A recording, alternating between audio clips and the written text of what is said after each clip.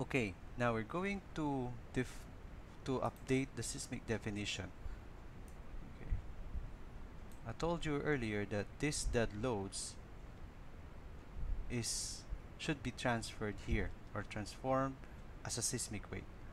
Okay, the shortcut is again STAAD editor. Right. Okay, where's that? So these are the the loads. I'll copy this, transfer here. Then I forgot floor weight. This should be floor weight. Then delete all GY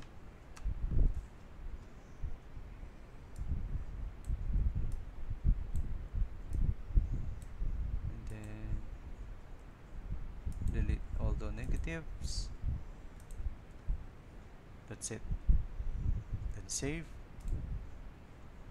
Then close.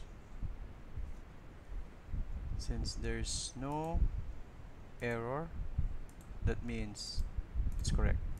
And it's being applied now. Now for our earthquake click on add. And we can update this EQX so we'll proceed with seismic loads x direction mm, multiply factor then add close then earthquake Z. Seismic loads Z direction accidental add close. Okay. Then we're done